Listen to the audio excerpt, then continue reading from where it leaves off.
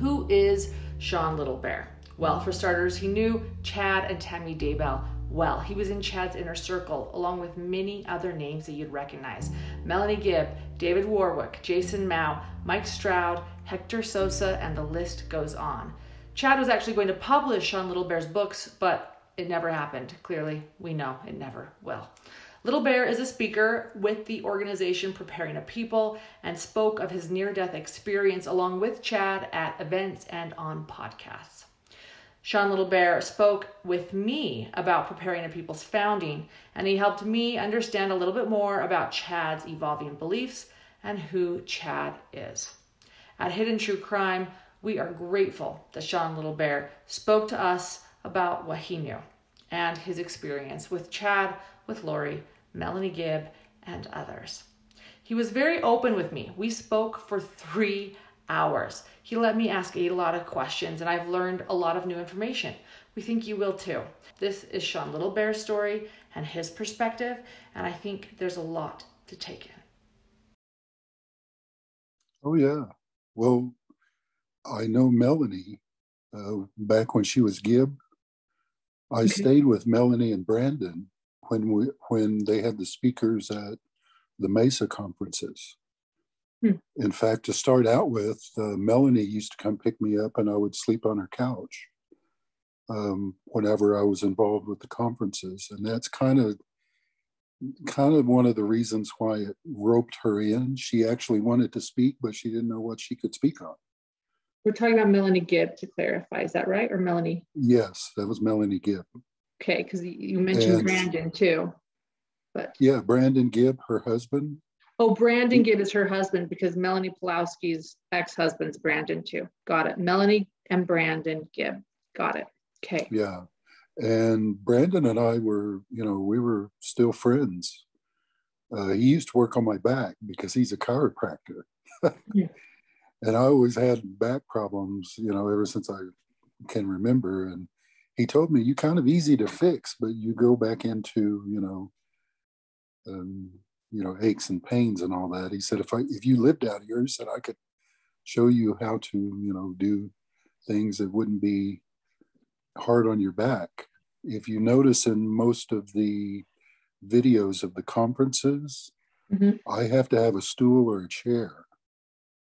And that was because of, you know, traveling is not not really good on my lower back. Okay.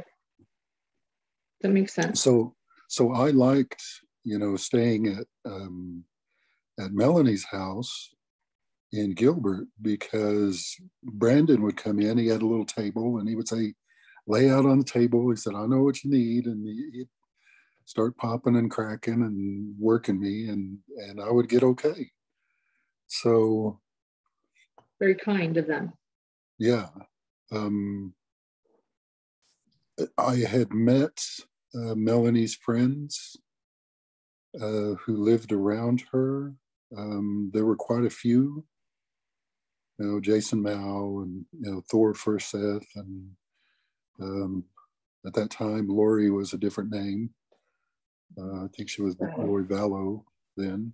Mm-hmm. Um, th- there was quite a few of us, you know, and, and we were just all getting to know each other. And then when we did become friends, um, you know, things progressed.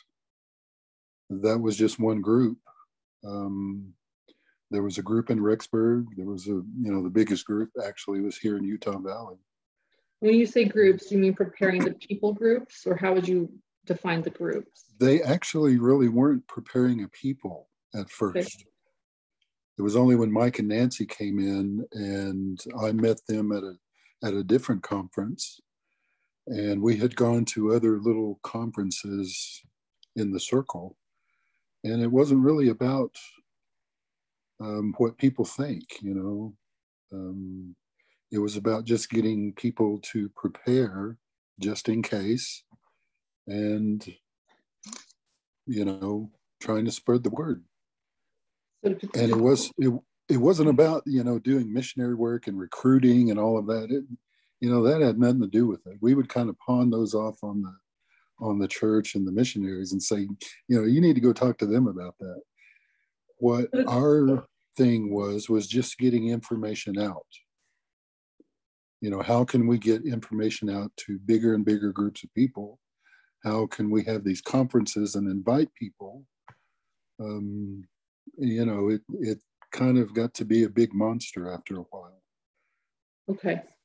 But the actual very first beginning was when i met mike and nancy. I showed up and I wanted to collect information for myself. I wanted to buy books, shake a few hands, uh, back when we could do that, mm-hmm. and you know, meet people, say hello, and get DVDs, CDs, books, pamphlets, whatever they could get me, so I could take it home and help in Oklahoma. Mm-hmm because that's where the natives have concentrated. And that's where this country pushed them, in, including my tribe. And tell me about your tribe too, really quickly, so I know. Well, I come from the Chichistas Nation. Okay. Um, we originated on the northwest side of the Great Lakes in Canada but we had hunting grounds and we roamed and seasoned all throughout the plains. I think one thing I want to understand for me personally is how it started and you were starting to explain that you you were speaking yeah you had met, met a group of friends with melanie gibb brandon gibb who helped you immensely with your back pain as a chiropractor you would stay at their home well, and then I you mentioned Nancy. jason mow I met Nancy, Mike and Nancy. I met okay. Nancy first. Nancy said Mike had a lot of computer experience, a lot of media experience, mm-hmm. and he knew how to work the cameras. She knew how to do the interviews. And they said, We're, we're going to propose something to you. Would you be a speaker at the very first thing that we're going to speak at? Wow you will be the literally the keynote speaker. We're going to build this around you. This is the beginning and, uh, of preparing the people. Yeah. And I said, what do you call it? And they said, well, we want to call it preparing for Zion. We want to call it preparing a people for Jesus Christ to return. Excuse me, I said preparing the people and I meant preparing a people. Okay, but it was preparing a Zion. Well, Okay. Yeah, that's that's what we were playing around with, and we went out to dinner with a bunch of friends, and they said, "Why don't you just shorten it? That way, everybody can be involved instead of mentioning Zion or Jesus Christ. Why don't you just shorten it to preparing a people? That way, everybody can get on board. Doesn't matter if they're Mormon, Baptist, or you know whatever they are. Okay. So, um, so we actually went with that and they said, "Who's who's the main speaker?" And they said, "This guy right here, Shawn Littlebear." So I told them, "Yeah, I'll do it. I'll be the anchor, and then I will help you. You know, if there are people I I talk to that have something to say, I will bring them in, as long as they're not too radical. You know, not way out there. Right. We'll start. You know, and let's let's build it. and Let's do it from there. So we started actually in people's homes. Okay. In small groups. And then we asked the people, Do you know friends who would come? We could get a bigger place. And they were like, Yes, do that. Bigger place, bigger, bigger. So when when they met, we had actually met people who knew um, that we could meet off of church property onto like gathering places. Mm-hmm uh, we knew the people that actually had those. So Nancy jumped on it and said, "I'll I'll handle that. Uh, Mike's going to do the media. You do the speaking, and then we'll all help with the speakers." So we drew the talent from you know all kinds of places, and next thing I know, it kind of snowballed, and there was all kinds of people. They said, "Let's go after the ones, the authors of these books that we agree with." And Chad came along about three years later. Okay, and to clarify, who were all these people? Was it Jason Mow speaking? Hector Sosa? Oh no, Jason didn't come along till right at the very end. Okay, so we're this is just. Yeah. Was Mike Stroud a part of this? But Mike was on there at the very end too. Uh, I okay, at the very end. Yeah. Okay. He wasn't. The very end part was we wanted to get groups, um, not based here. We started taking this group to other places. Okay. And it just became too financially difficult on everybody to travel, to, you know, take everything we needed. Uh, the first meeting we had in Arizona, um, they loaded up a big van and a trailer, and Mike loaded the back of his um, SUV, and I jumped in one of the back seats, and we all took off. And after that weekend, when we drug it all back, they were like, this is just too difficult. We need to have groups, like have a place down in Arizona where everybody will have the equipment and get people and you know they can store it in a garage or whatever and then we'll come down and use it got it the same thing happened in rexburg mike and nancy actually moved when i first started they were here in utah valley and then they said we're going to move to rexburg and I was like, why are you going up, up there for? And they were like, we feel spiritually drawn to Rexburg. Hmm. I was like, you do know that volcanoes are going to go off up there. You guys are going to deal with a lot of ash. You know, there's there's going to be things unique to Idaho. Right. And, the first time I slept up there, I had a dream that was just, ugh. And I wrote it down on a piece of paper. It took, you know, I just kind of did a synopsis. And I said, This is what I dreamed about. And I showed it to the people, and they were like, Oh, I was like, You think this is a refuge, and and it probably will be from the world, but you're going to have to deal with the Yellowstone volcanoes. You're going to have to deal with the flooding from the mountains. You know, there's there's going to be a lot of things happening. So I wrote down what I saw, and they were just kind of you know, kind of raised their eyebrows a little bit. So after we got, you know, the Mike and Nancy thing going. Yeah, sorry, I interrupted. You were getting, you, they said, let's go after the authors. Yeah, they, well, we started having groups. Um, Melanie wanted to be the group leader for Arizona. Okay. Um, there was um, another lady that wanted to be one of the group leaders in Rexburg. There was another lady that wanted to be a group leader in Ohio. Um, we had uh, my group in Oklahoma. Um, there was another group in Colorado. So we were just starting these, you know, kind of let's share all the information groups. And then um, I can remember uh, Mike was really liking um, Julie Rowe. Mike James, Nancy's husband. Yeah. Okay. And he wanted to invite her to Rexburg. And he and Nancy, I was riding with them when we went to that conference, and they they just went back and forth. Well, Nancy said, if if you're going to invite Julie Rowe, then I'm going to invite Chad Daybell. And I really didn't know who Chad was at that time. And they were just putting together things in 2015. Was this because Chad was her publisher, or how did they go together?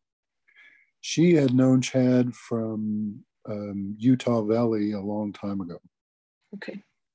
So I don't know. You'd have to ask her about all that. Okay. I just know that she was the one that wanted to bring Chad in, and and Mike wanted to bring Julie Rowe, so they both agreed. Okay, you bring Chad, I'll bring Julie Rowe. And I didn't know who either was. I said, "Well, this is the first time I'm going to meet him." Yeah. And they looked back at me. They said, "You know, they've got lots of books," and I was like, "If they're not writing about native subjects, then you know, even if I would have encountered them, like, I just don't have time to read everybody's books."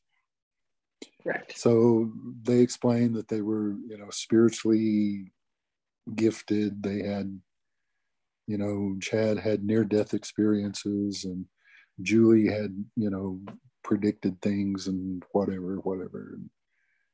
So I told them, well, you know, they're just like all the others. Let's, you know, I'll get a copy of their books and maybe I'll have time to read them or peruse them once I get back to Oklahoma. So I really didn't think anything of it. And we just kind of progressed from 2015. And I got to know Chad, and we actually spoke together at different occasions for different groups. There's one become your friend? That, Was he your friend? Well, he had um, been involved with uh, different people. And one of the groups that I was involved in in Salt Lake was not preparing people, was not any of the other conferences. These are small groups of people that meet together that are like minded. Okay. And they really like to vet the people that they bring in. And one of them had said, suggested, hey, let's have Chad Daybell talk. And I kind of looked over at him and I said, I know Chad. And they were like, great, let's bring him in.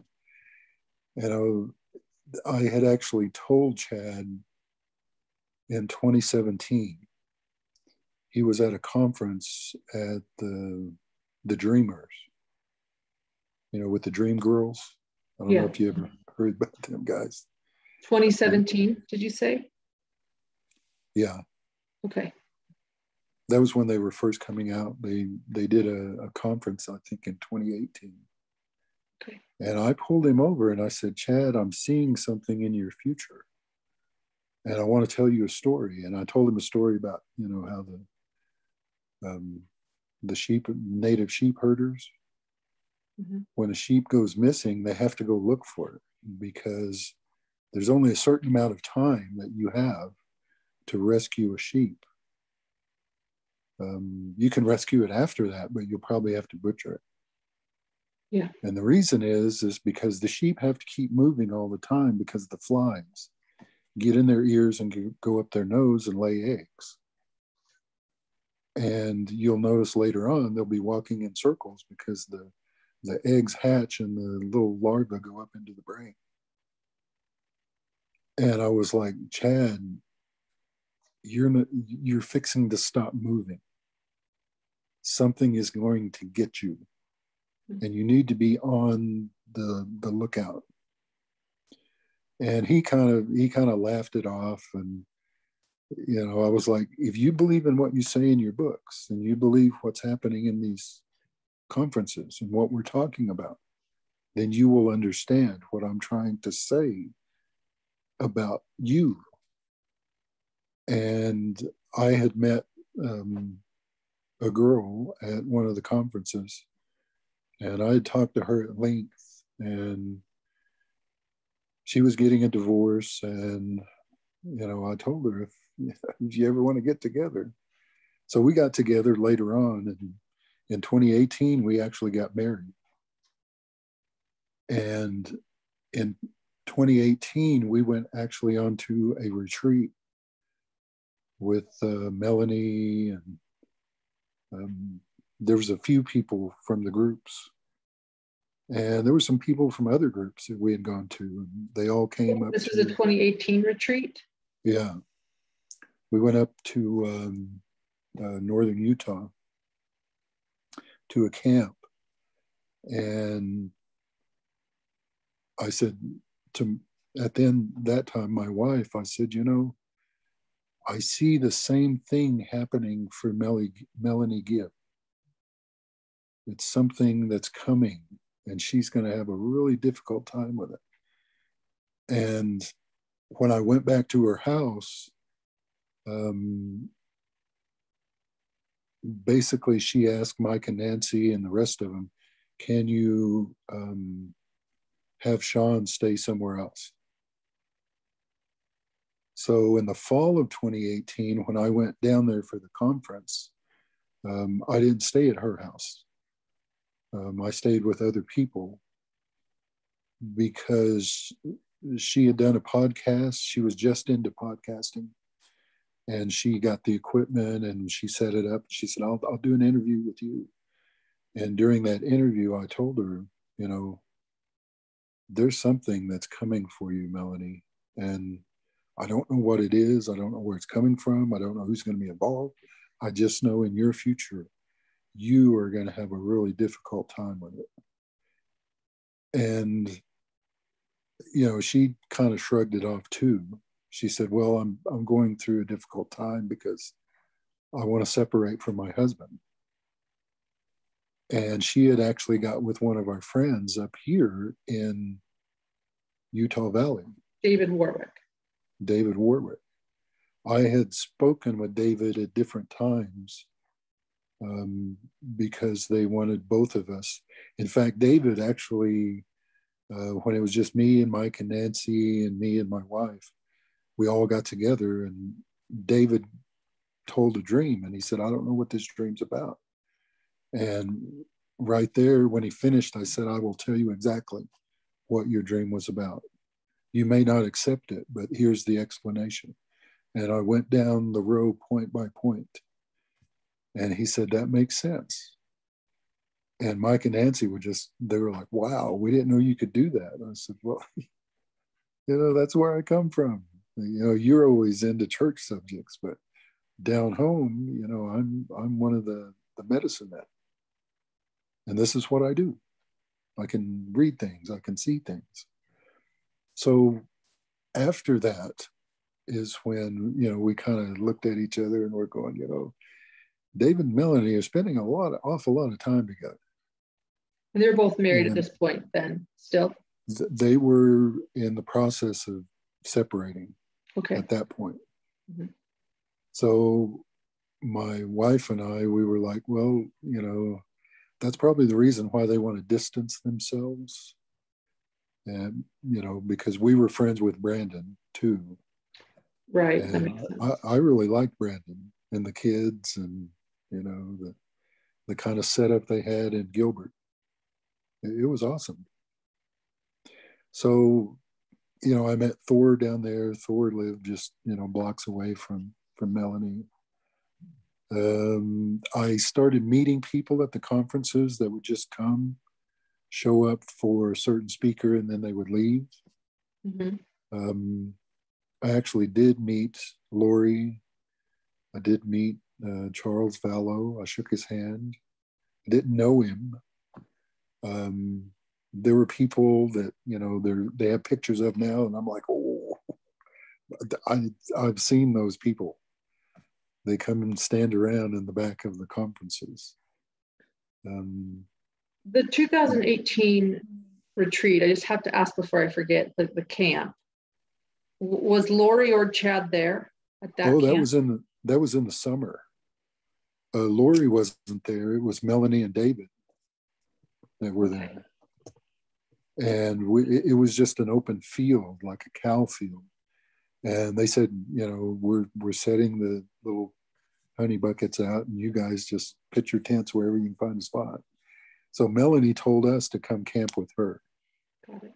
And there's been rumors. How, there's been rumors that maybe Chad and Lori knew each other longer than what Melanie Gibb has told others, but I can't confirm that. So that's why I was asking. Oh yeah, I, I believe that. You do I, believe that? I, I believe that because when we, the summer camp was up in the mountains. Mm-hmm. The conferences were always at different set places. And when we were um, down in Arizona, I know at one of the conferences, Chad just breezed in to do his speaking, and then he would kind of go off to the side and meet up with people, and then they would be gone. And Lori I noticed Chad would be gone. That, yeah, they would be with a group, and then whenever they went out, wherever they went out, you know, they they kind of paired up and went off because we didn't hear from them again after that until the very end. When and was that? I am just trying to get a timeline of maybe when they possibly met. When was that? When they actually met would have been, you know, what Melanie Gibb is kind of saying.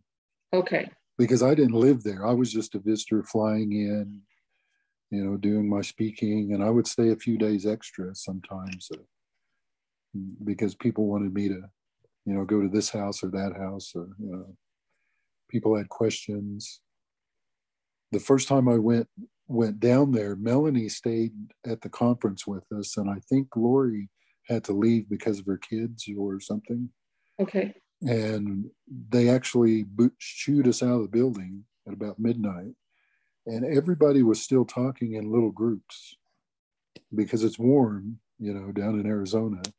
Mm-hmm. Um, we were out there still talking at 3:30 in the morning, and that's when they said, you know, you need to stay a few extra days instead of flying out the next day. Stay a few days, and then we'll meet at this person's house or that person's, and then. This is know, said they, to Chad Daybell. Um, that was said to me. Got it. Okay, sorry. Um, right. But I did notice that at those late, you know, everybody would stay at those late ones. Chad wouldn't be there. He he would be out and gone. And you know, Melanie would just she wouldn't come out and say it, but she was like, you know, that one over there, and, and Chad, they they they go off. So it was implied that they were together or Yeah, they they were both married. You know, Lori and, and Chad, were, right? Lori was married to Charles. Chad was married to Tammy. Yeah, they would pair. There off. were others. That, you know, I'm not going to go into detail, but there were others that were there that were doing the exact same thing.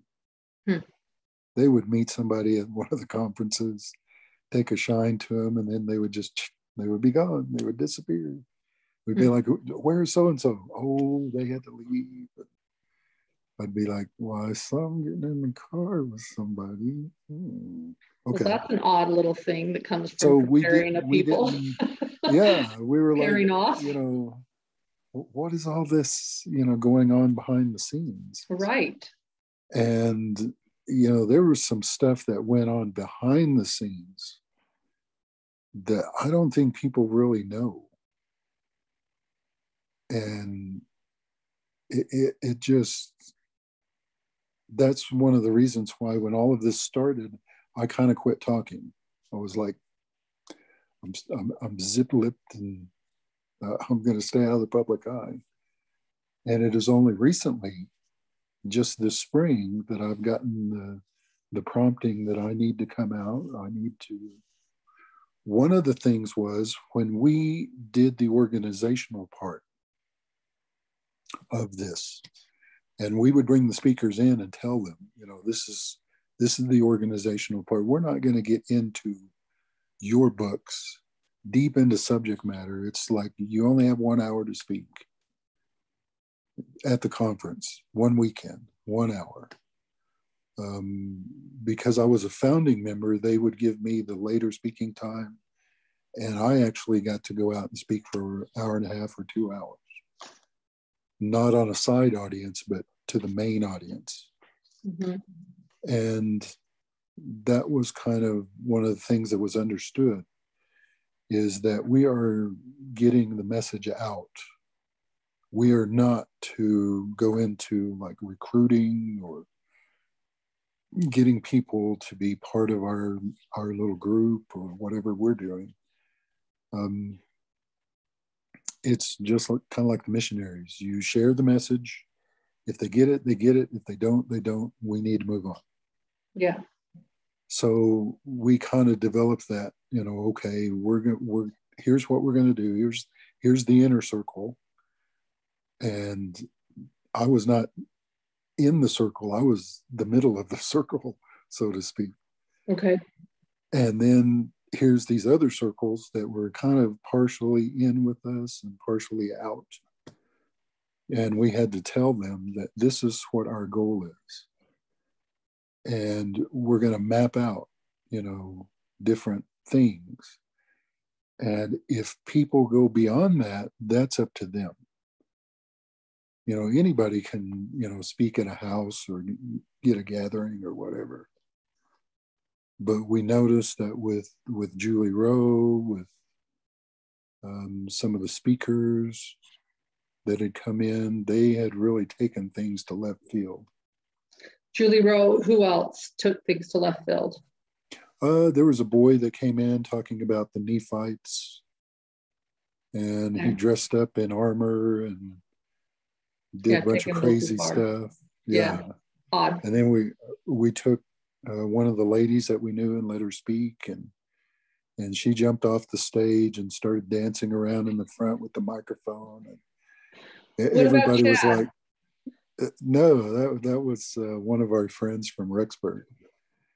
And she's out there anyways. And we, we all were just like, okay, no more of this one, no more of that one. Uh, let's let's move on. But I know the organization. We had goals.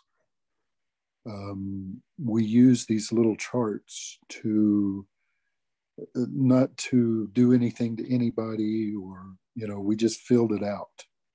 Like this member that member. Um, and we all got together and you know said do you feel comfortable with this with that? I think chad and lori and those that kind of branched off from that i think they took those and started doing their own things with them. You know, saying okay. if people seeing seeing if people were light or dark or they had bad spirits in them or if they you know did this or that or well tell me so the organization goals or the things that they took from preparing a people were what that they then stretched well it was just the diagram i think okay. of having people you know we ours was for should we let the you know should we let this one go up there and speak? And how's mm-hmm. it going to reflect on us? Right. Where they took it was let's you know let's categorize this person and and see you know if they're spiritual if they you know if they this or that. And that's where you find all those weird charts come out to where they oh. say they're oh. god. They want to be gods. They want to do this. They want to do that they took it to the extreme they did they took the organizational part of what we did and kind of perverted it to their own ends okay so to clarify the light and dark scale sort of evolved from yeah that that was them. people organizational no, no. goals would try to find out how spiritual a person was and if they fit the speaking elements that you guys well it was just a requirement you know, you can't, you know, you can't go up there and do your own agenda, so to speak. Or, you know, you can't promote something that only you know. It's right. got to be based up by witnesses, evidence, you know, all of this. And they took that whole paradigm uh, and, and just ran with it in their own thing. Creating a light and dark scale. Yeah. Creating if people were going to be gods, if they were translated, if they, you know, if they had demons or evil spirits, and we never ever went there. It was just, you know, that was. I was listening to the other show, and the lady was saying, "This isn't part of the church. This is a secret combination," and she researched it. And I was like, that is exactly what that is. It had nothing to do with us. It had nothing to do with our group. It had nothing to do with the conferences. That may have been their meeting point, but they left and did what they did. Mm-hmm. They did they could not do that at our conferences. So they asked me, Will you come out and clarify that one day?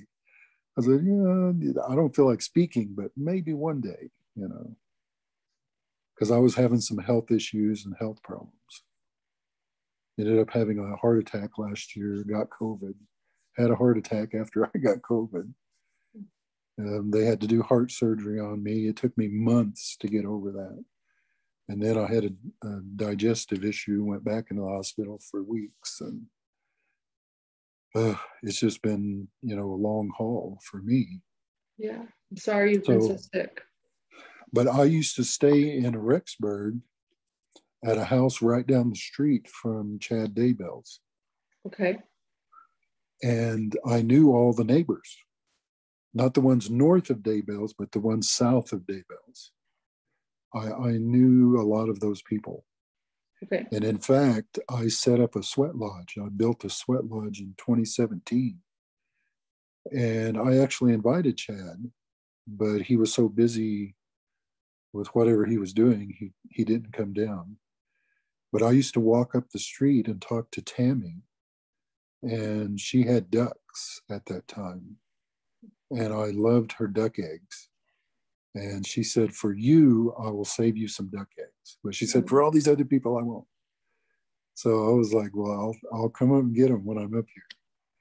So I would go and she would hand me a little basket or a bag of duck eggs. And they were awesome. I just loved I loved her duck eggs. But she invited me up to the last time she spoke at the ward and all the people, you know, just down the ward. You have to go from Fremont to the other county, and then there's the ward before you go over the bridge. Mm-hmm. That's the one everybody on that north side went to. Okay, all and this is Tammy speaking to her congregation, and she invited yeah, you. Yeah. So my wife and I, we went up there, and she did an awesome job. I, I was oh, just, I was thrilled. Like, I'm glad I came all the way up here. so we we gave her a hug and then we had to go after and that was pretty much the last time i saw her when was that that was in the spring of 2019 yeah okay well. But we had heard um, certain things had happened and I, I kind of quit talking to chad after after those things started happening. What things? This this was long before the kid's disappearance. What things? Um, one of my friends, I can't mention his name because I haven't told him I would tell anybody, but okay. he cleaned the chapel with Chad after the services. They were part of the, the priesthood that took turns. So he and Chad cleaned the chapel one day and Chad found a necklace hanging on the podium microphone. I don't know if you had heard this before. I think I might have heard a rumor, but I didn't know if it was true until this moment. Well, I actually asked Chad, I said, I need to know about the necklace. And he looked at me and he said, I'll, I'll call you. I'll give you a call. So I told my wife, I said, he's going to call. So when we got back to Provo, that time we were staying in Provo, um, he came over to the house in February of 2020. And he handed my wife a, um, a little memory key. And he said, Shawn's book is, I had actually been working with him on him publishing my book. And he said, Shawn's book is on here, everything we've done. I'm giving it back to you, and I wasn't there. He gave it to her, and he said, uh, Here it all is. Um, my daughters, my nieces that help him type said that, um, you know, they were going to college, they didn't have time. He said, I don't have time to editorialize. And he said, By the way, I'm getting out of the publishing business. So he asked me, he said, You know, you don't owe me anything. Here's everything. You know, your book is actually way bigger than the books that I publish. So we would have to do volumes. And I was like, you know, I, I know, Chad, you know, you know the story. There's there's always more to it that I, I can't put in. So he gave the book back. And then later on in the years, when I I heard more and more stories coming out. Every time we would go to Rexburg, my friend would bring me in and say, you know, this and that, this happened, that happened. And there was some, you know, like I said, some behind the scenes stuff that I was I was seeing that I did not like. So for our viewers that haven't heard the rumor that I've had, go back to the necklace really quickly to finish the story. He was cleaning the chapel. He yeah. found a necklace on the podium my friend told him to put it in the lost and found, and they would notify the bishop.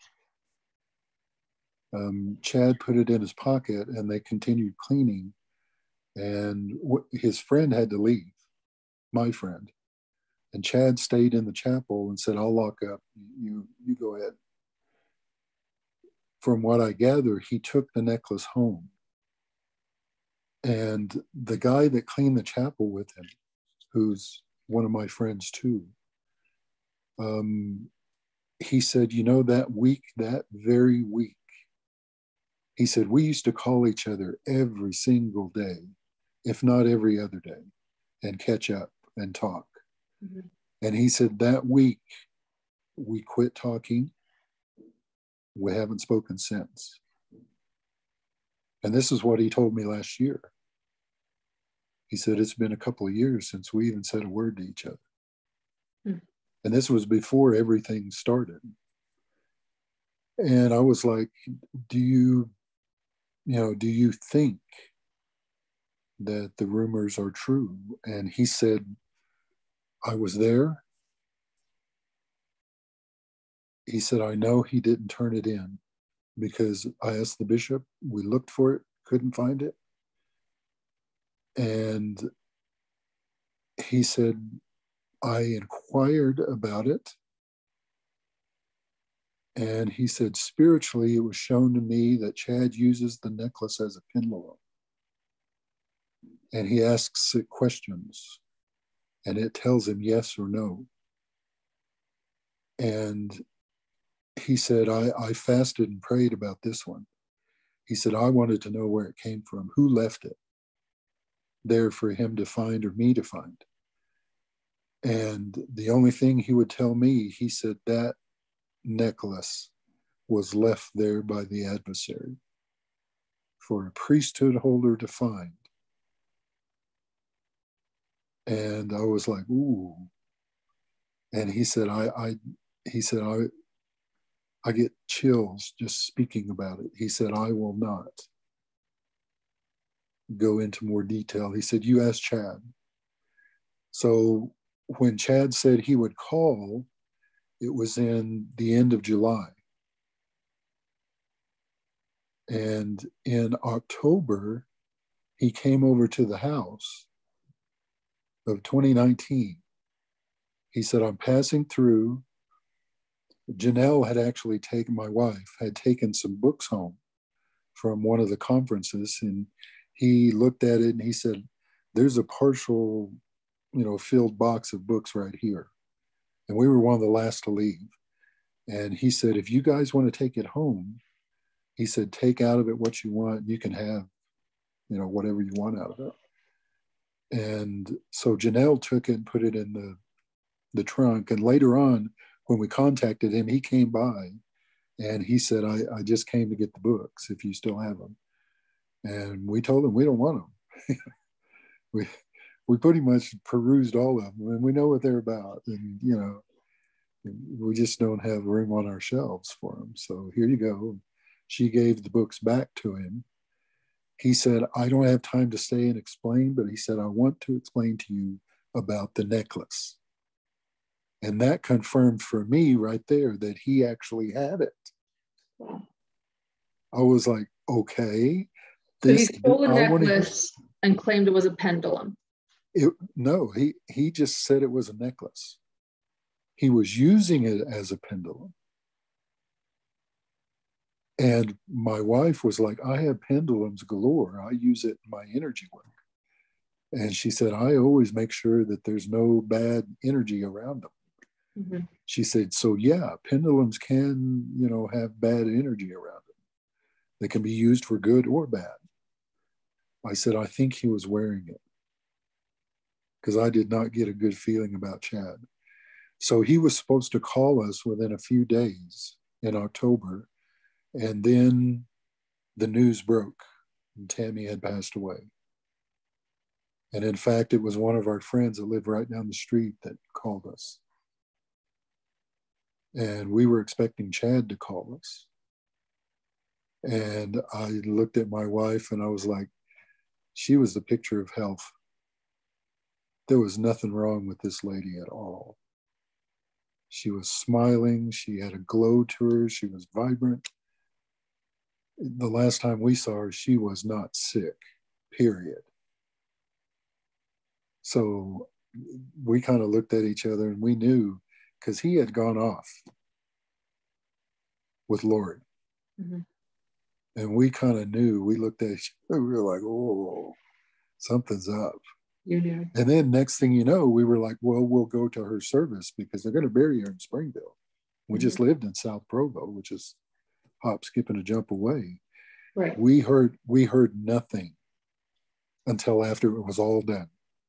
So you didn't even know about it because it happened. We so did. Fast. We didn't know that she was. You know, we were at. We were actively listening for when the date was, if they were even just going to have a gravesite. We wanted to show up, and it was like it was all held in secret. We we knew nothing. And we were like, wait a minute, we you know we talk to Chad all the time. What's what's up with this? So after that is when all communication stopped. He never called to explain about the necklace. Never called he to never, tell you Tammy was dead. He never said anything. Never called. When we tried to call him, all we got was a voicemail box.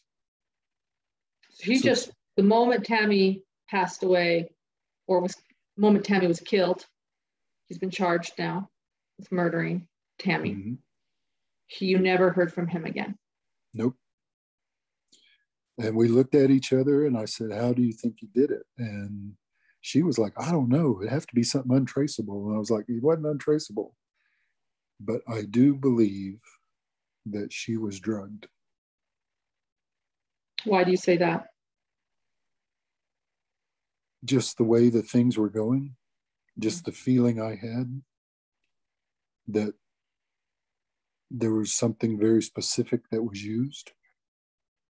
So I was like, you know, the guy wanted to kill his wife, you're close enough, you can do that. You know, you wouldn't have Joe come in and do it. Right. Although it was mentioned, this threw me off in the in the charges in the indictment. I mentioned that on the night Tammy died, that Alex Cox's car was parked in the church parking lot nearby, about a mile away. I didn't know why he would be there. That was interesting to me, but I, I can't put that together.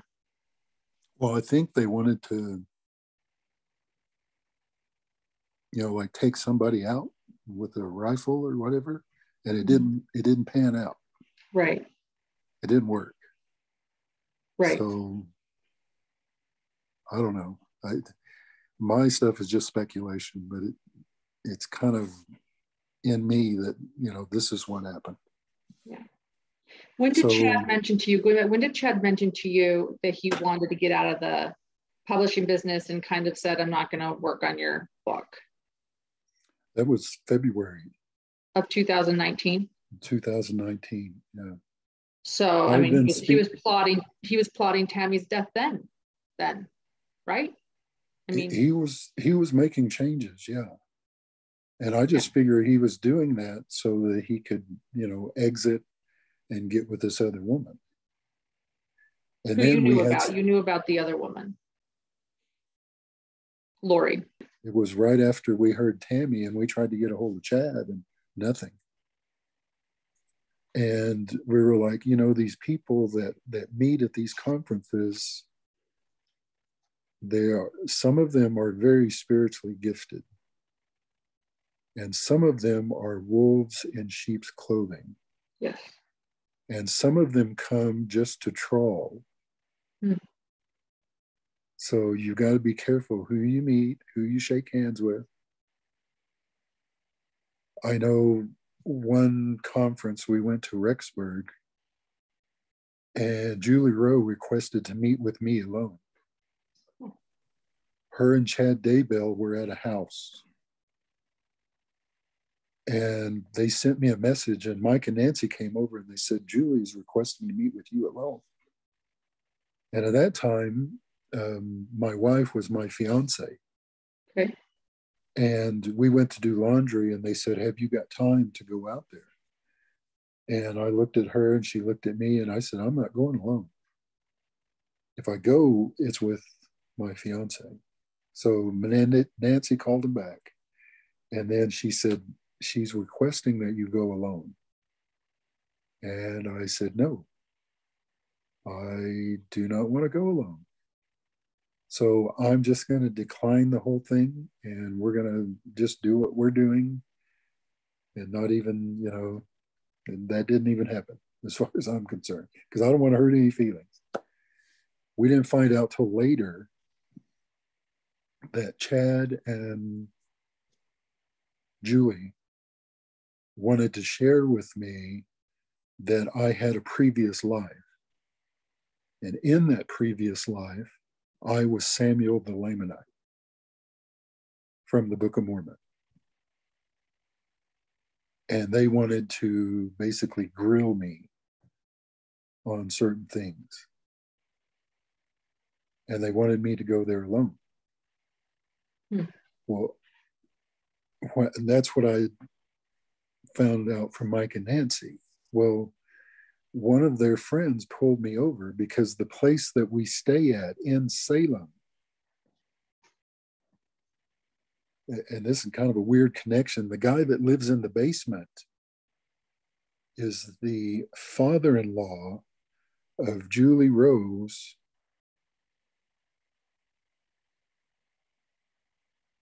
The, the bodyguard, Joel Gervine.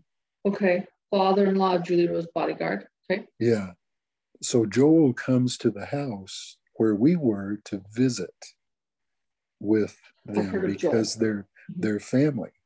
Is Joel the father-in-law or Joel the bodyguard? Joel's the bodyguard. Okay, got it. I, have heard of would, Joel. Yeah, he would be kind of like the nephew of this guy. Okay. And so I, I didn't realize all that. I was like, you know, this is news to me. And when we came in, um, there was a lady that pulled us over and said, uh, I need to talk to you. She said, You know, Julie Rowe was after Shawn, not because of a, a, a strong spiritual thing that he has, but she said, I'm just going to say this bluntly. She wants to have a child by Shawn. And Julie was married. She right. lived in Kansas, you know. I was yeah, like, I know. I was like, oh, that's not going to happen. You know, that that's no, we're and. Who was it that told you this? The person that pulled you aside with Joel? It was no, it was one of the friends that we had met in Rexburg. Okay. It was a lady that goes to all the conferences. She knows Nancy. She knows us. She knows okay. all the players. Okay. And she just said, You need to be really careful. And we told her we are because she re- she's made requests. She's, uh, in fact, she got Nancy to talk to Mike, and Mike and asked if I would do a podcast with Julie in the backyard of their house in Rexburg. Hmm. So you'll notice one of those that they had, well, they probably took it down now, but one of those podcasts that Mike had, it was with Julie Rowe in the backyard. And I told him, we're, we're meeting at a public place. He said, We'll be outside. She's not coming in. So I did a podcast with her. And that was the only time I did. Outside. Was outside of Mike and Nancy's house. Julie, were Julie and Chad having an affair? I don't think so. Okay. They just but I know collaborated they, with religious. Yeah, they they were really close there for a while. They were, you know, like like pals, pals.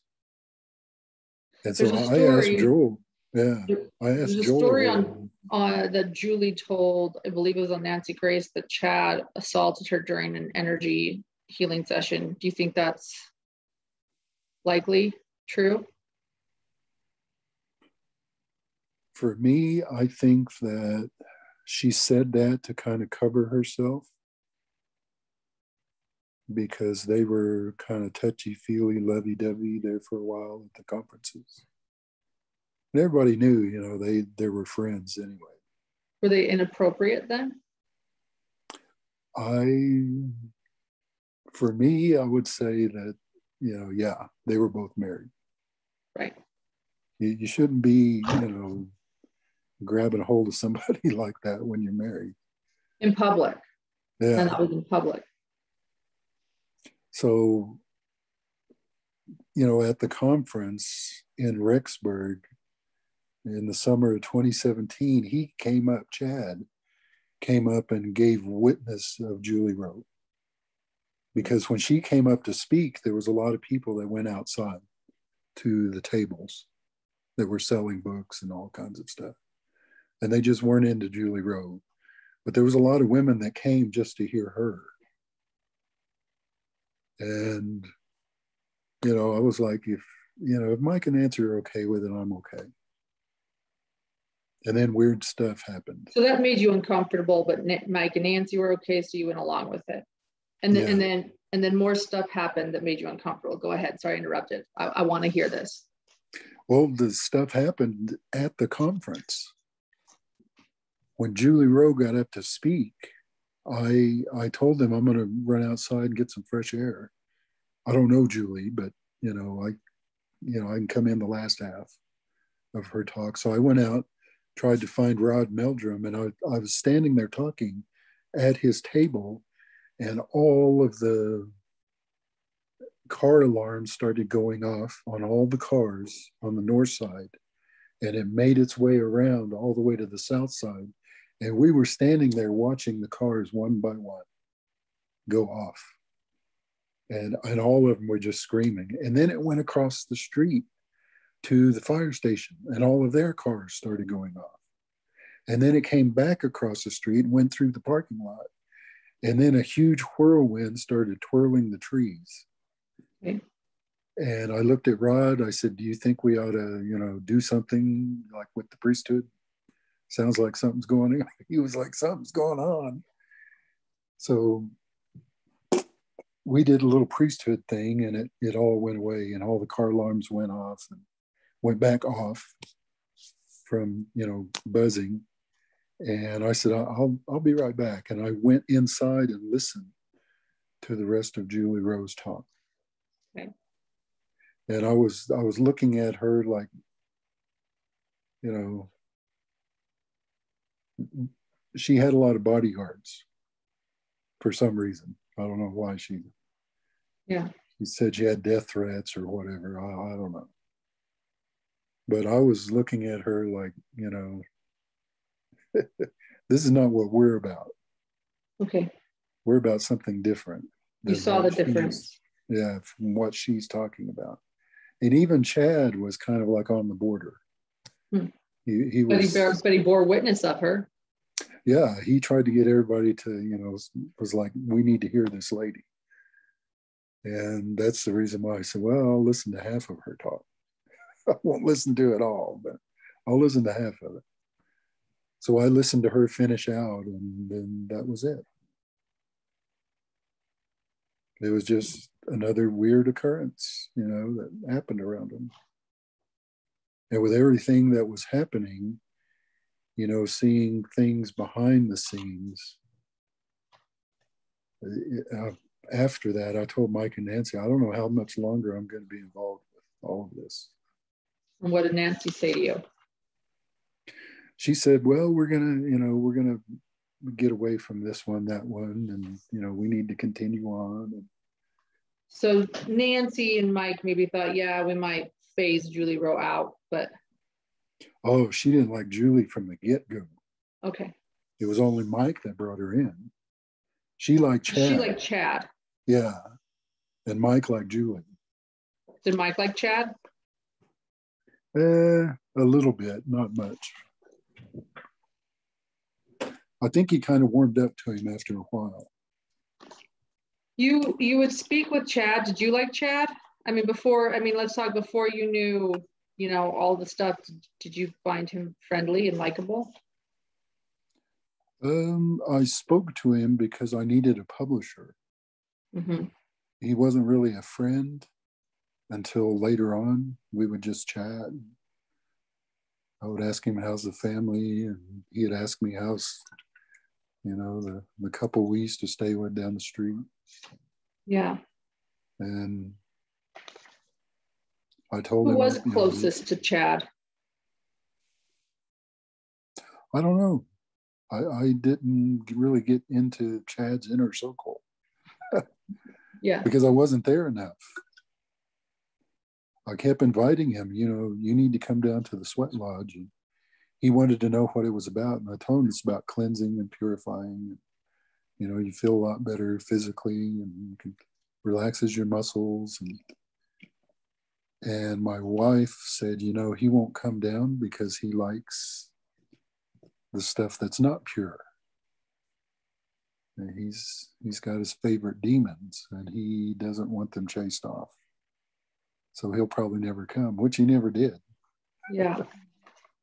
What else? What else happened that you noticed? I noticed that after um, after he supposedly took the necklace, he was ducking and diving, trying to get away from from me, from my wife, from us.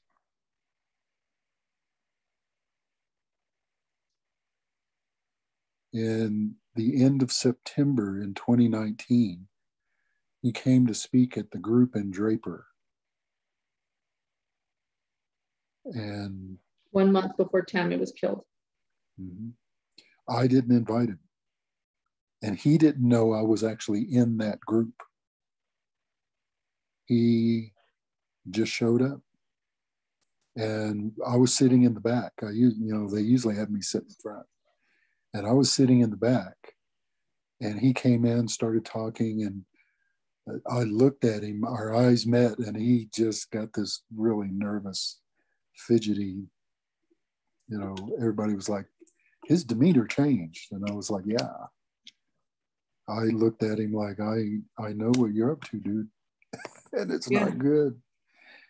He excused himself. He said, I've got to quit speaking. I've got to drive all the way back to Rexburg tonight. And he, he said, had, I got he had killed the children by this point. He did not have to go to Rexburg. That was the thing. That's what we found out later. He did not have to go to Rexburg. He had to go meet Lori. He had to go meet who? He had to go meet Lori. In Rexburg. No, we were in Salt Lake. He Was had to meet in Salt Lake as well? Yeah. So that's interesting because at this point in September Melanie, 2019, Lori would have moved to Rexburg. So he's mm-hmm. driving down to speak at a conference and she's clearly there too with him. Melanie Gibb had given her the information on catching the Allegiant flights out of Gilbert. It goes straight here to Provo Airport from Gilbert, and it's way less expensive than flying from an airport. Airport. You just Near go out Provo. to the little, yeah, you go out to the little airport in Gilbert, and it's like seventy nine dollars. You get on the hmm. plane, and you're in Provo, flies direct, lands out here in Provo Airport. It's, they're big jets. They're the only big jets that fly in, the Allegiant Air. And they fly to Idaho Falls. And they're really cheap. You can get a flight, you know, an overbooked flight for nobody shows up. You can jump on for like 50 bucks. So in other words, well, you would be were, better off if they were living in Rexburg at the time, because they were, and I believe the children had been killed by September 2019. They would be better off mm-hmm. flying to Gilbert and then maybe from Gilbert to Provo than straight from from like Rexburg to Provo. Maybe. Yeah, because they were getting around, you know, just really quick. They have those flights all the time. In fact, they're doing more and more of them. Okay so you know when we were talking about the group we were like you know they can get around because they know the ins and outs. And you know melanie was you know flying Allegiant Air just back and forth like you wouldn't believe just to be up here with david. So she was doing the same thing. I know she was. Lori. Yeah. Um, and there were me, connections. You you came to our chat. Go ahead. There were connections between the people behind the scenes. Uh, that I just, you know, I was finding out about them uh, up until everything, you know, kind of quit. I had uh, been a speaker with Hector Sosa Mm-hmm. on numerous occasions, with David, And is he your friend Hector with Thor. Yeah, I, I'm friends with Hector. and and Thor as well? hmm And Jason Mow, me and Jay Mow, we, you know, we're we came through the same kind of experiences coming up. He was a cop, and I was in law enforcement at one time, Mm-hmm. and we kind of understood each other. So between all of us speakers, we kind of we had a rapport. And there was a couple of times where you know everybody was kind of scratching their heads about Chad. You know, Including Jason Mow? yeah. I mean, Because he was friends with Lori too, right? well, even when Jason came in, and he was one of the late ones, he didn't come in till after 2017. And everybody said, you know, he's he's kind of he's kind of overdoing it. He's kind of overcompensating for his past. So they asked the the organizers of the conferences, not just one, but a bunch of them, to look into his past to see if what he was saying was actually true. Mm-hmm. And they did that with me. You know, Mike and Nancy came down to Oklahoma and spent like a month. And they they went here and there and and they sent people from Utah down. I had um, uh, BYU professors come. I had um, the aide to one of the general authorities actually showed up. I had um, Rod Meldrum and his crew came down. Mm-hmm. Um, they were just like, you know, we don't have any proof of these things. We need to see for ourselves. So I took them around and then showed them here's some places you can go. And when we were driving around, people were honking and waving. And they were like, we don't know anybody down here. And I was like, just, it's my TV show, it's my program. They know me from my TV show. It's on the air now. So they'll honk, they'll wave, just wave back at them. We'll smile. I, don't know them either. It's just, they watch me on TV. Yeah. So I, I, you know, I told them that's that's one of the things I can't really bear witness to you of. But now that you have a witness, you know, you know, people know me, and I don't even know who the heck they are. It's just I have a TV show, and they they see me, so Right. they wait. Right.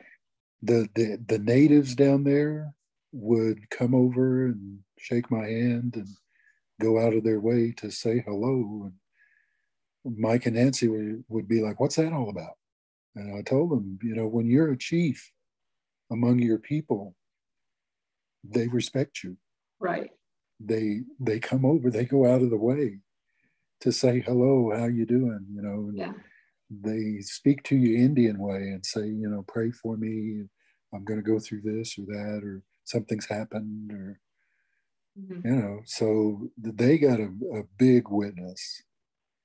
And then to to top it all off the guy i don't i don't know if you knew that but the guy with 116 pages he came into the ward which i'm at next to the temple.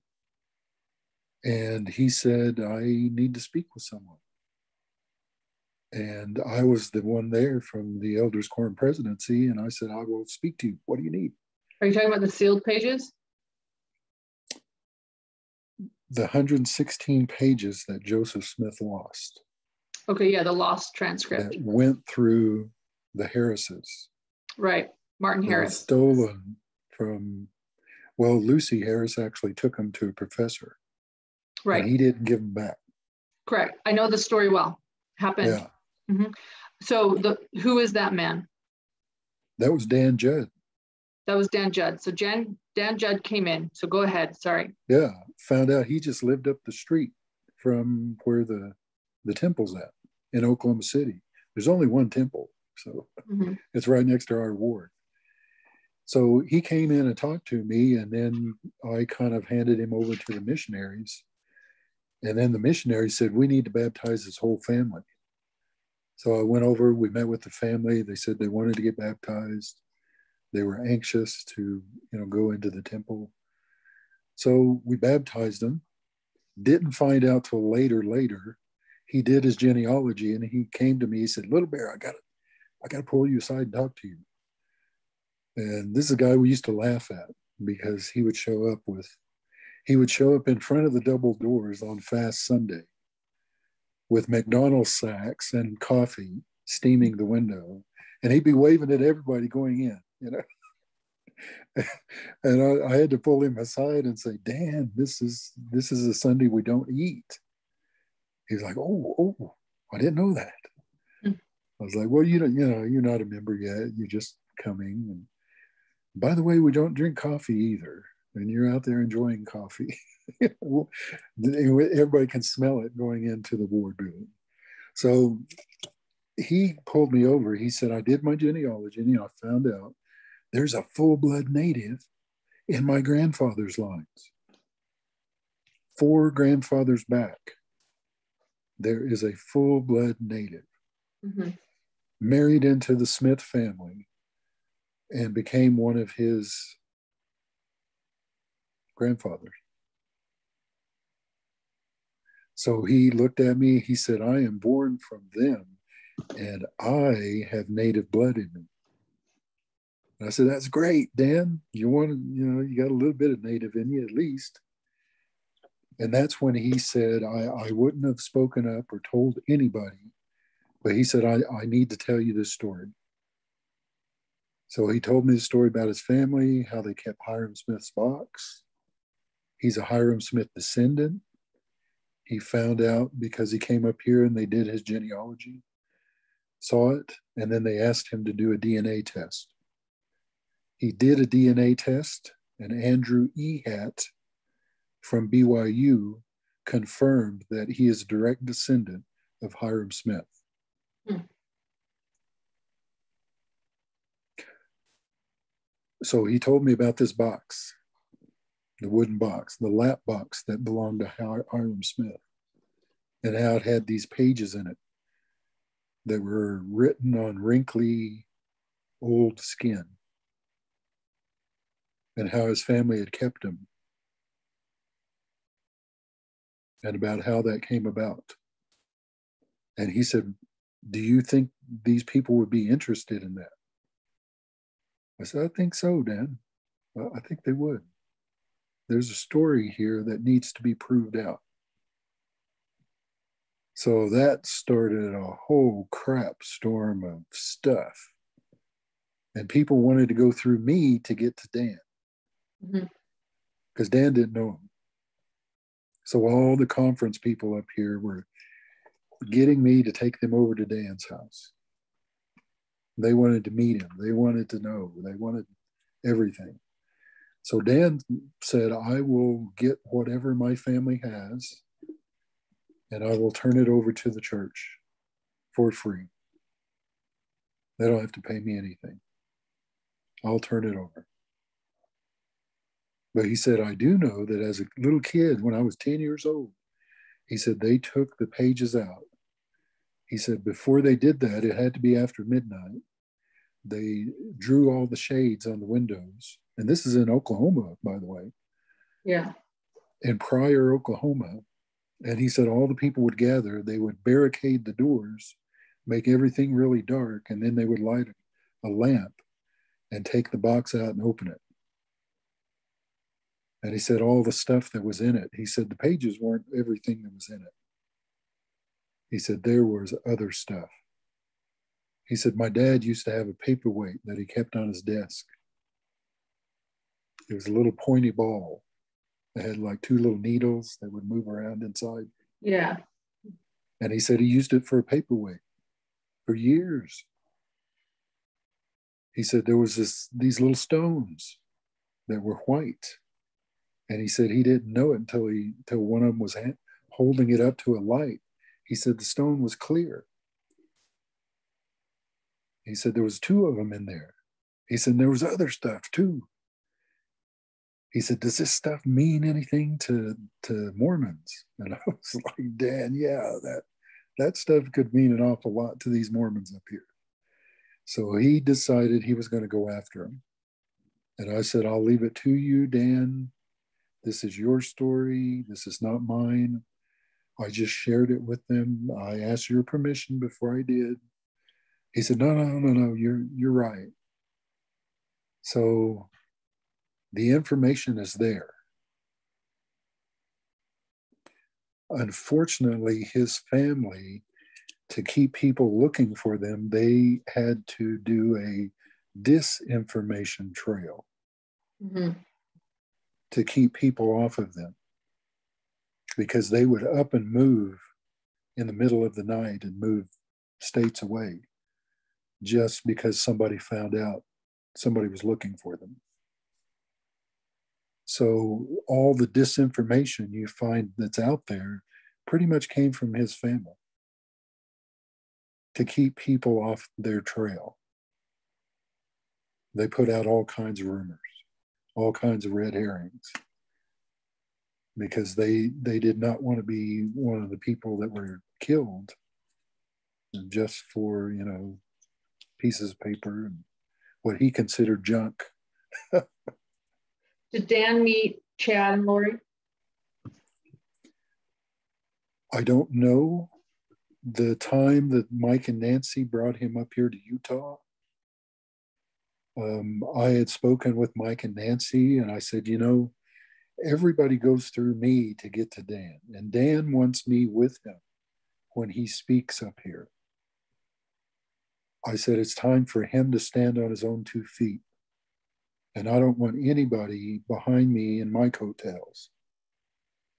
I said, I know what I'm presenting, and if anybody's going to go down for what I'm presenting, it's just going to be me. So I don't want Dan to be behind me. I want him to stand on his own. Yeah. So when they brought him up here, he came by himself. Okay. And I I did explain that to him. Did Jan ever bring up this is a random question. Did Dan ever bring up a Chris Mamelka or do you know about Chris Mamelka? Um no. And that's okay. I think it's a completely that, separate. That didn't that didn't come up until after everything had already happened. Okay. Okay. Um, yeah, Zulema, there was a bunch of them that were like just bit players. And I was like, you know, they weren't even part of anything back then. What about, I have so many, can I ask you a few questions about a bunch of these people that I have questions about, like, like Zulema that you just brought up and Melanie Pawlowski? Were they in preparing a people? No. No. Um, if they did show up, they were just audience members. Okay. They were not speaking or anything. No, they had nothing to do with it. Because I know um, when I met Charles, he had actually just come to pick up um, Lori. So I, you know, I just kind of, he was wearing a cowboy hat and I shook his hand. They introduced me to him and then I went on. That was the only time I met him. You, um, you were, you visited our chat last night and you brought up Lori and you said you always thought she was crazy. Could you share a little bit more about that? Well, that's just the impression I got. You know, when um, her and Melanie were going around, they were actually searching together. Um, Melanie wanted, well, Melanie wanted a way to get in to the group. Melanie Gibb. Yeah. She wanted a way in, and she didn't have anything. And by group, you, are you ta- referring to preparing a people, or are you referring to any of them? Just a group of friends the the conference groups the okay yeah know, just the variety of groups or yeah, clips that were out wanted, there she wanted into one of them and she Melanie Gibb. Okay. yeah so she decided she would write a book because that's what Nancy told her. Everybody's come here is has a book. They have a you know something to tell. They have a rich story behind them. They have right. You know, and she didn't have anything. She was like, "Oh, I want to be part of it," and she cried. Really? I, you know, we were like, you know, if you want to get to know what this is all about, then you either got to get to know the scriptures really well and tell uh, a, a, a part from your angle, or you got to write a book about something. When was she crying? With you at home with Brandon, or? Yeah, that was that was right when when we all first got together, first met. She wanted to be a part of something so bad, and she wasn't. She was just an audience member. This was back before they, you know, I don't know who put a bug in her ear about the book, but she started writing a book. We came down um, the the next conference or two later, and she said, "Hey, I'm writing a book. It's called Feel the Fire." And she just had it, you know, in pages, and she was typing it up, getting it ready. And I was like, "What's it about?" she said, "Well, you, you got to read it." And she told me she would give me a copy as soon as one came out as soon as she got it printed up. And it was a little book, I remember. And I read it. She gave it, she gave it to me, but I gave it to my wife, and then I never saw it again. I Chad think she gave it forward in it, and she referenced Lori in it. Did she ever? Yeah. Did she ever talk about her relationship with Lori to you? Uh, not really. Other than you know, she would just mention my friend's got to go somewhere. Yeah. We got to go do something. So you knew they were close, but not how close, maybe? Yeah. And I, I did tell him I'm going to the temple to live, leave a bunch of cards. And they wanted to go. They wanted to show up. They wanted to be there. But Nancy was getting everything, you know, prepared for the temple thing in Gilbert. And I had already had different things planned.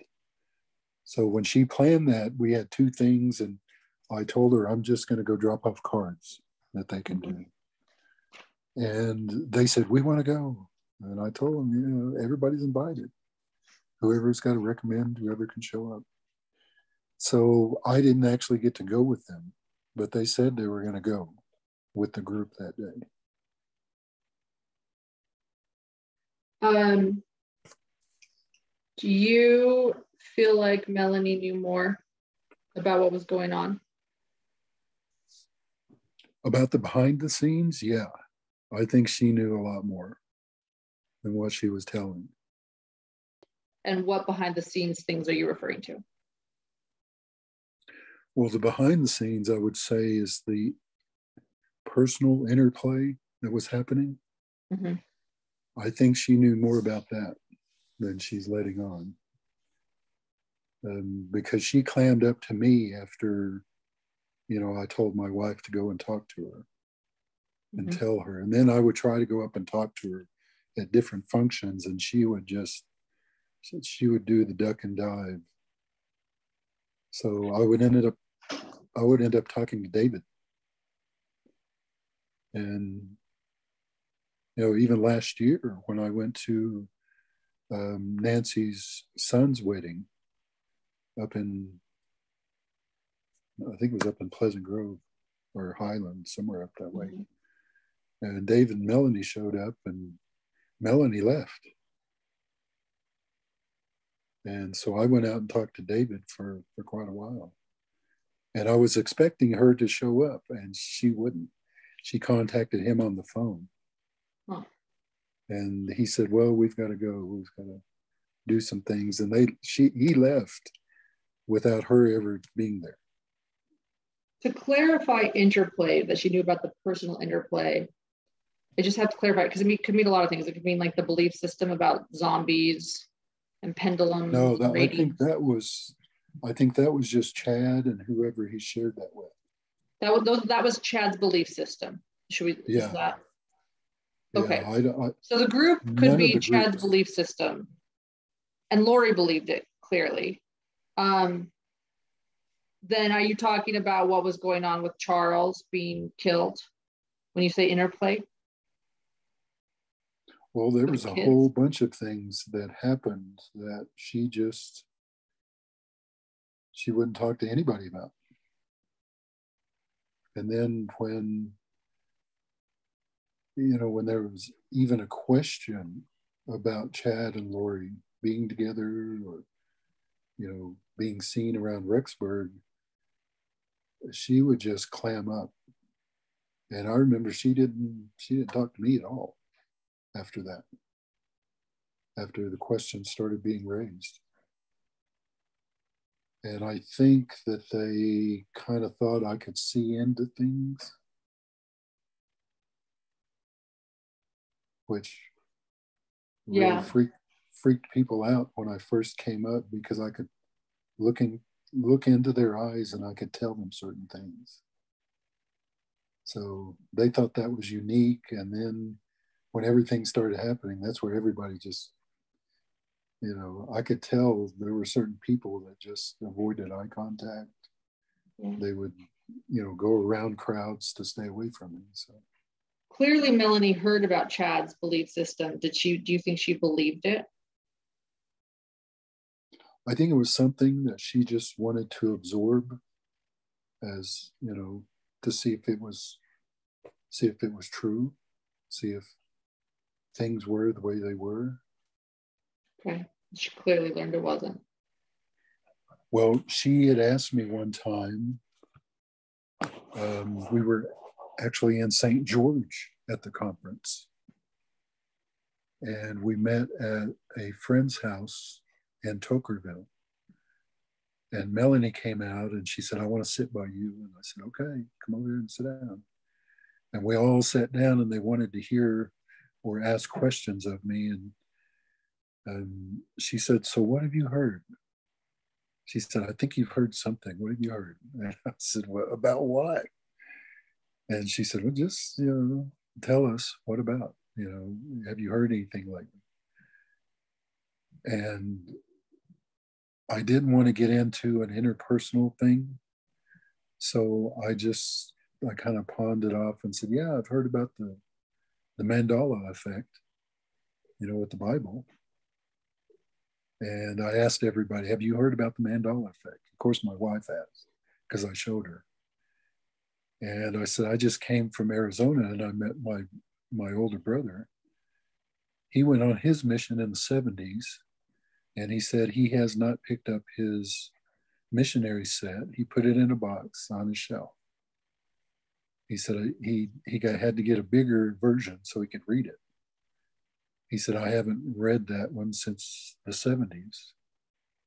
And I told him about the Mandela effect, and he just it just rocked his world. You know about that, don't you? Mm-hmm. And what so did Melanie I, say about it? I I showed them the scriptures that I showed my brother. And I said, he's actually memorized the scriptures, you know, ever since his missionary days. And he's been a bishop a couple of times. And he's pretty knowledgeable about the scriptures. And I told him they change does not matter if they've been sitting on your shelf or not. The, the moment they change the dimension, they change you. And he didn't believe it. So he took he dug out his missionary scriptures and I gave him chapter and verse and he went down chapter and verses. And he said, How can they do that? It's times we live in. It's it's happening. And unfortunately, the same thing can happen with people. You can be something within you can change by dimension.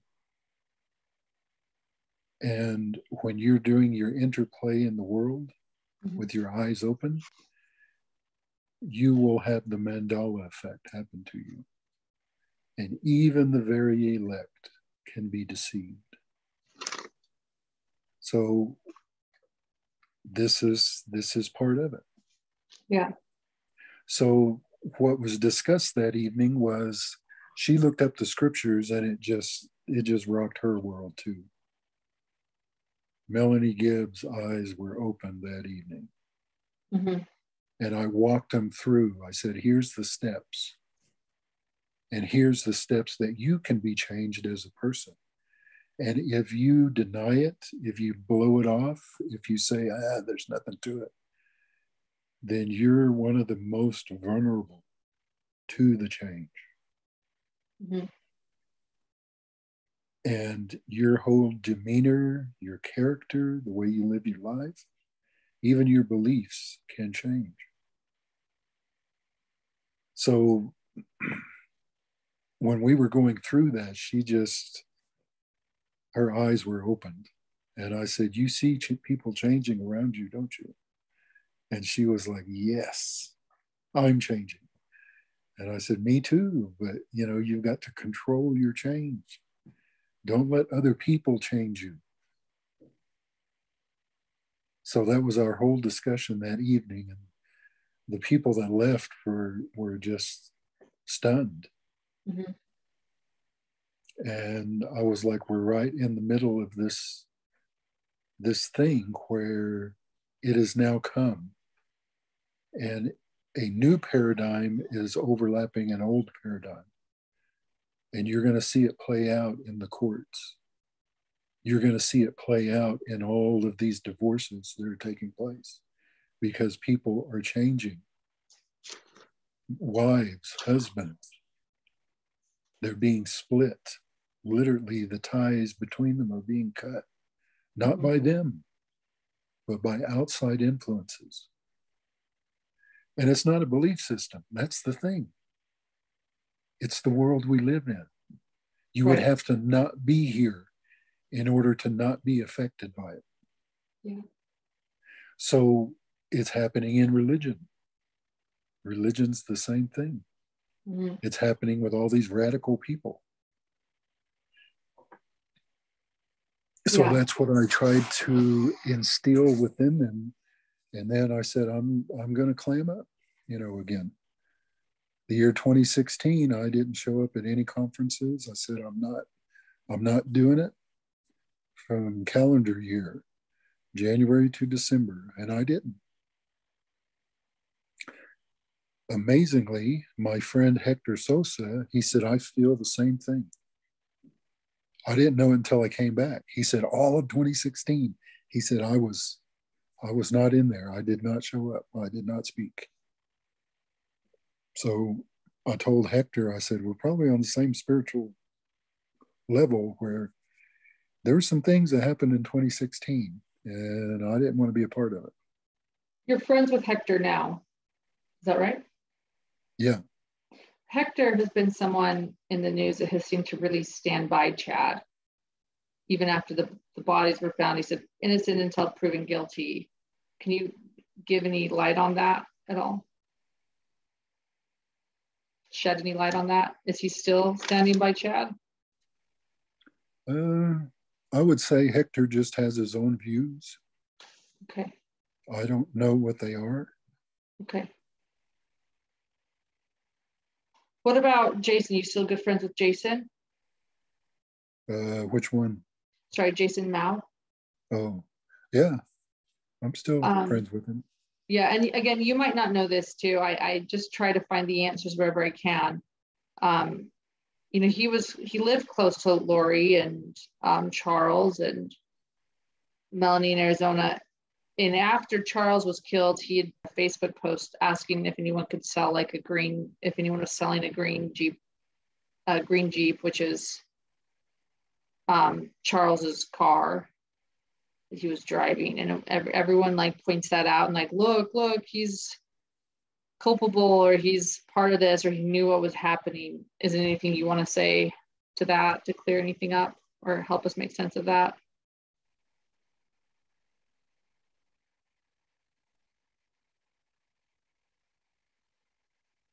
Well, as far as Jason goes, I don't think that he was helping with any of it. Okay.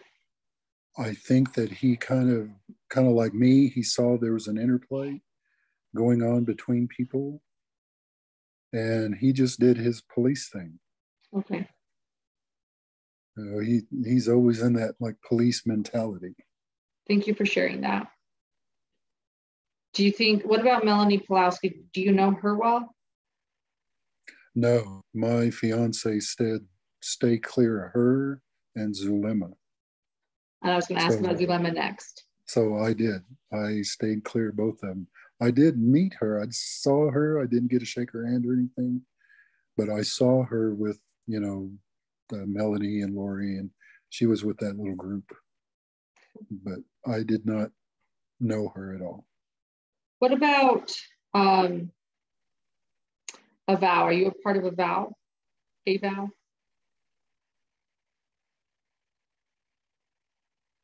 I was back in like 2015, mm-hmm. um, but I met the people in charge of it.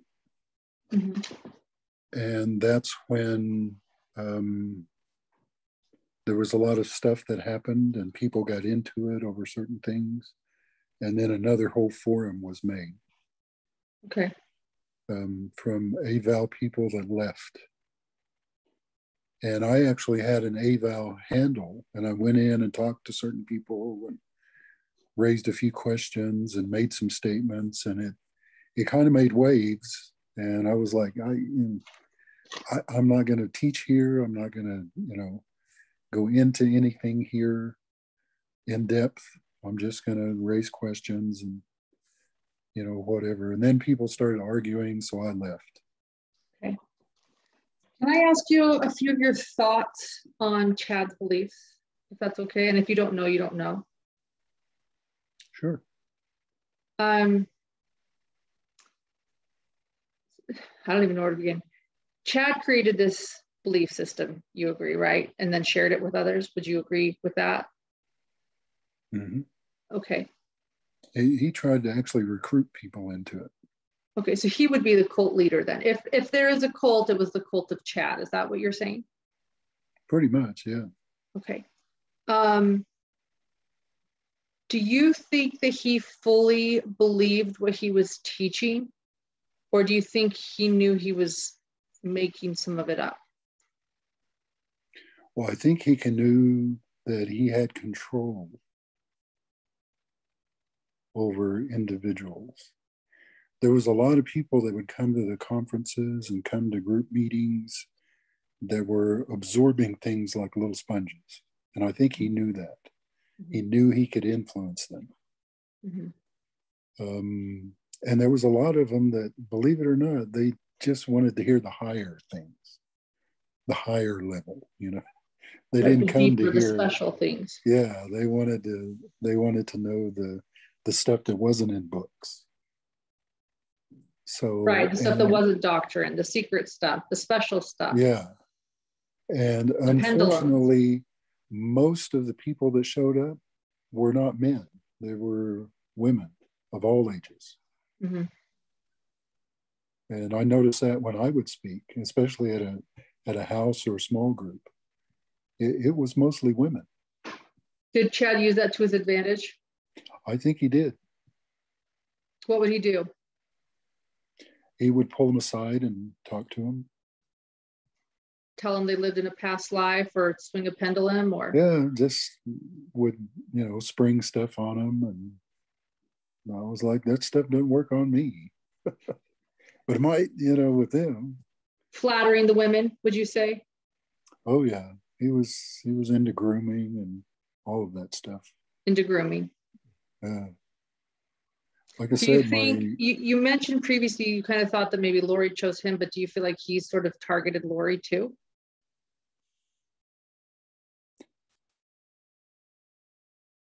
I think once they got to know each other, they kind of clicked like magnets.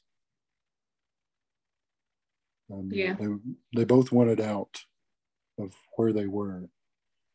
And they figured they could start together. Do you think that Lori believed his belief system? I don't know if she believed it. I just think personally that she thought she could work it somehow. Work So- his belief system. Yeah. Okay. Do you, why, I mean, we know why they killed the kids in the sense that they declared the children zombies. But do you think that it was Chad's idea or Lori's idea to kill the kids? I think it was Lori's.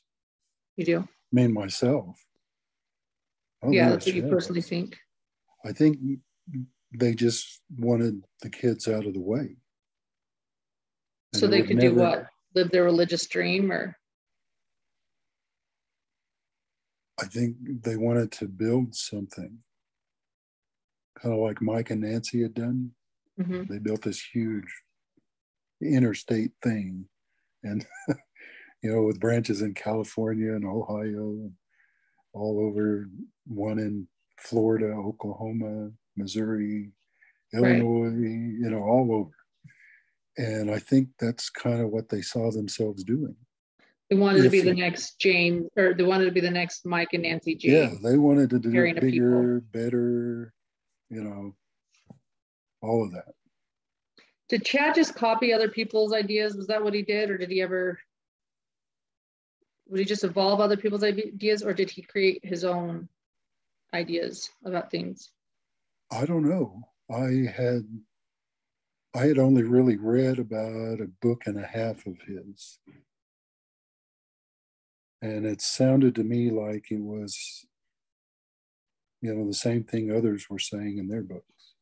Mhm. So I didn't I didn't read on. Whose particular books would you say they were similar to? When we first met, Chad gave me a stack of all of his books. Just gave them to me. Mhm. So and that was with most of the people that I met. If they had a book, they would give it to me. Why Why are you choosing to speak now? because I've been prompted to. Well said. Why did you trust me to tell me your story? Hmm. At this point, I was just thinking about who I, you know, who, would I actually shout out to, chat to, even say anything to. And I was scrolling last night and I thought, hey, there's two women drinking wine. Maybe I can trust that. I used to love to drink wine. Mine was to love- cranberry juice. Mine was cranberry juice, but yes. Well, I used to like to drink sangria. Mhm. and mine is now you know the mormon sangria but um yeah, back in the day i used to like to drink wine so i'd be logged on. Right now because everything has already started i'm not on any witness lists. They have my phone number from you know different people. Right. i'm not on there enough. I know our friend audrey she called chad about every single week. That's the reason why she's on the witness list. She called Chad every single day. Every week they talk they spoke And that's your friend? yeah well she was actually my my wife's friend from here in utah What's her last name? Barattiero Okay. And that's why she's on the witness list. but um, yeah she's on there because her number appears on chad's phone over Yeah. and over and over and I again the, you- the thing is he was married Calling her. I know. Do you suspect he had been married. multiple affairs? So why would he be calling her or she be calling him week after week after week? That's what I'm wondering. Do you think he had uh, multiple affairs beyond Lori? Well, she's never been married. So I think he was just trying to, you know, keep her in the loop, so to speak, so that she wouldn't get too far away. Because Okay. she is the sister of the Dream Girls. Okay. So he wanted his, you know, his influence there. So was Chad about was Chad, was Chad about power and control? Uh, not to begin with. I don't think it was until you know after after 2017. And then it became mm, that something yeah. shifted. Yeah, something changed. And, and do you think he thought he was a prophet?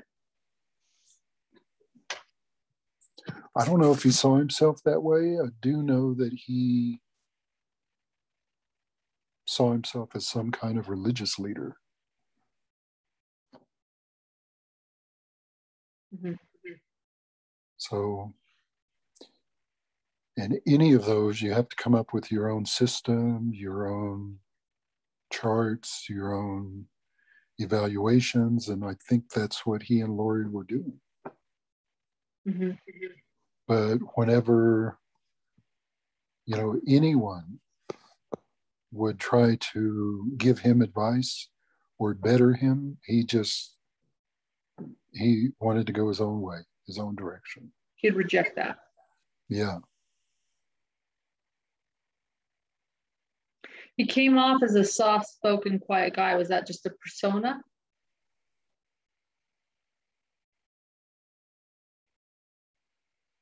To me, it seemed that way um, because he would make jokes about his own family, about, you know, things that happened in the past. Like what? Like at one conference, he was having a hard time um, getting the his talk going, and people were still making noise and talking to each other. And so he went into this um, thing about his grandmother and how his grandmother had spiritually shot him. She took a gun and shot him in the belly. And he woke up and he said, I, okay, he said, I, I figured out right then and there, I'm going to have to cast grandma out. So he did the Mormon thing and cast grandma's spirit out of the house. And everybody was laughing. And after that, he got their attention. And then he went on with his talk. And it kind of kind of was funny. I was like, mm, he's telling something about his grandmother, and I, I wouldn't say that in a talk.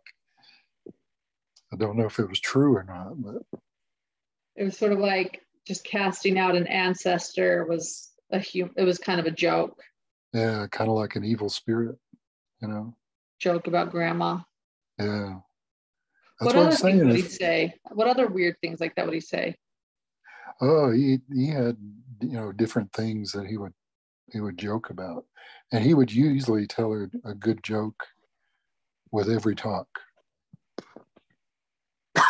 Sometimes to get them going, other times just to you know to get wake people up. Did you ever see how he and Tammy treated each other together? Did you ever see them together? Uh, just at church. We had gone to church numerous times while we were in Rexburg, and we used to see them all the time. But they were, they would come and talk, and you know, peck each other on the cheek, and then go different directions. He had things to do with the priesthood, and she was in Relief Society, so. So they'd come in separate cars and leave in separate cars. Well, they always sat together with the kids um, when they could. You mentioned a peck on the cheek. Were they affectionate in other ways? Did they have their arms around each other at church ever? Or yeah, um, one time we we actually stayed so we could speak to both of them, uh, my wife and I, and you know, they came out and they put their arms around each other. My wife and I were just talking to them before they had to go back to their house. So, yeah, they just look like a normal couple to me, anyway. Did uh, Chad warn you of people? Like, I know, for example, in a recorded phone call with Melanie Gibb, he said, Don't talk to my sister in law. She's dark. Would he ever share with you that people were dark spirits? No. And again, the reason why was he he kind of thought that I had more spiritual oomph than he did. Do you think that he made up his near death experience, or do you think he really felt he had a near death experience? I think he really felt he had one. Okay. So that I mean, would imply with, that maybe he really did believe himself. Well, I didn't see the evidence of it. Um, like with mine, I can show the, the hospital record. Mm-hmm. You know, when I went, um, I was brought into the emergency room on um, from a car that pulled up, and I couldn't speak. I couldn't. I could just move my eyes, and they recorded all of that. That my heartbeat was wasn't even a heartbeat. It was like a, a fast jiggle. Right. Yours has evidence. And, and, I, just, I, and I believe Chad's maybe, but I would have yeah, believed that's it. what I was yeah. that's what I was waiting for. I was like, where's the evidence? Let's see the evidence. Right, but he went under the water and back up. Yeah, under uh, and back. Yeah. Because, you know, my ex-girlfriend that lives in Oklahoma, she can testify. She did not see it happen. Um, I just I made it home from where I got struck by lightning. I knew I was in deep water, deep kimchi. Yeah. And I came in and, and I couldn't speak. I couldn't hardly move my limbs. I just, I ended up by the bedside trying to figure out how am I going to wake this woman up. And while I was doing that, I was dripping on her, and that's what woke her up. It was raining outside. Yeah. So she's the one that took me to the emergency room. And she went in with me and she saw when I flatlined. And I remember I could hear her crying. And I didn't know what she was crying about. I was like, yeah. what are you crying about? And it didn't realize it didn't dawn on me that I had actually died. I was standing there right, you know, looking at everyone like, what's going on? What what's she crying about? And I was laying on the stretcher and I was not in my body. And that was the weirdest feeling. She was crying because I died, I'd flatlined. And they hustled her out. The nurses that hustled her out, there was more of them than I could see when I was alive. Mm-hmm. So I looked at them and I was, one of them turned back and looked at me and it dawned on me that she wasn't alive. Yeah. She was following a nurse that was alive. And just lickety split, just I I said, I see you. She said, I see you and you see me. And we're in the spirit. We're not alive. We're talking to Shawn. I don't see Shawn. I know this is him right here. He just wants to talk without video, and we're on video.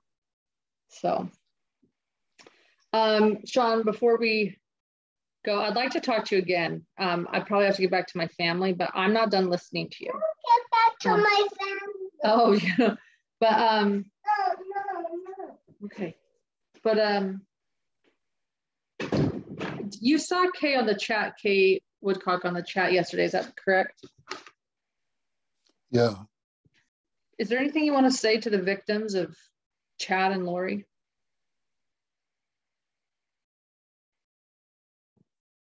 Well, kind of like what I was saying to Kay and Larry is, you know, I'm sorry this happened to you.